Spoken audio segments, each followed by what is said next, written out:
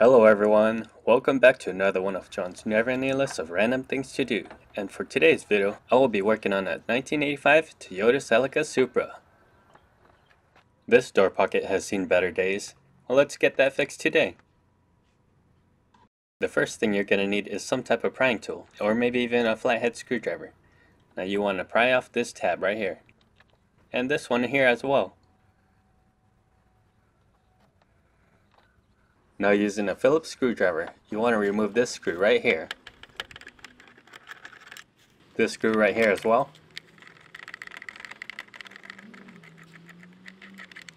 If you pull this tab down, it'll reveal a hidden screw down here. Remove that one too.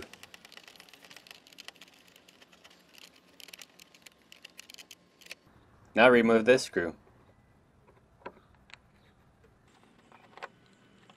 And now to remove the door handle trim. Pull the door handle, slide the trim, and then pull it out. Remove this screw right here to remove the courtesy light.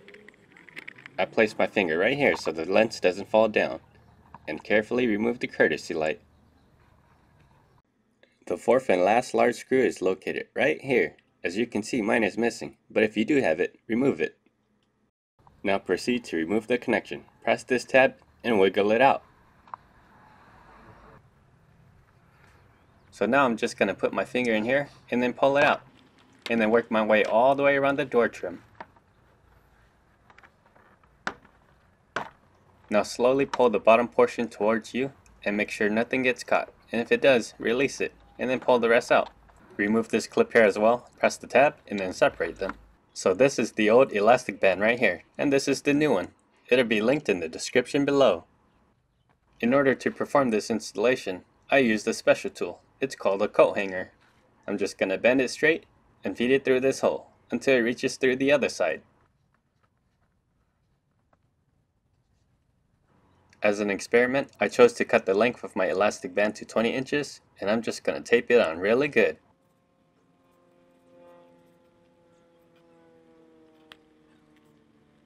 Alright, and now it's ready to be pulled through. And watch it go through. Once it's reached the other side, disconnect it from your special tool.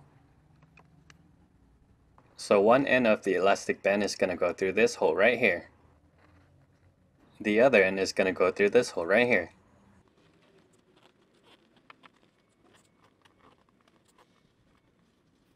So this is how it should look like. One end here, one end here. Now you can choose to sew these pieces together like this, or you can even choose to staple it back on, just like how Toyota did it. Well, I'm just going to tie a knot right here.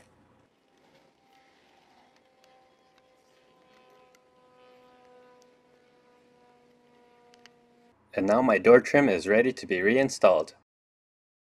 You want to make this connection right here first. Then proceed to reinsert the top portion of the door panel. Align the retainers, and then bang it into place. Now before installing the courtesy light, you want to install the fourth large screw located right here.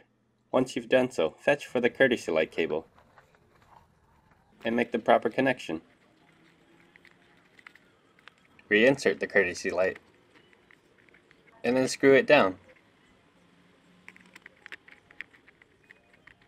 Don't screw it too tight or you're going to crack it. Reinstall these three big screws, one here, one here.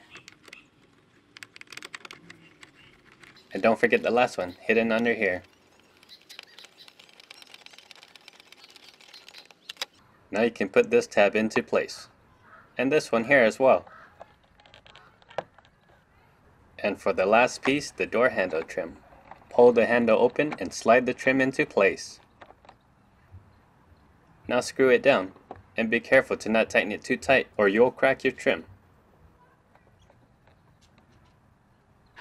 And would you look at this, within a few minutes we made this old pocket brand new again and usable. I hope you found this video helpful. If you liked it, go ahead and give it a thumbs up. And if you're not subscribed yet, maybe even consider subscribing. Thank you all for watching, and I will see you guys for the next random project.